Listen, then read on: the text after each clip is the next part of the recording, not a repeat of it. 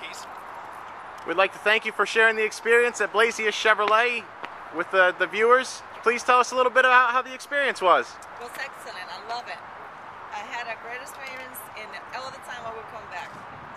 I always get the best of of the best. Thank you, boss. Thank you.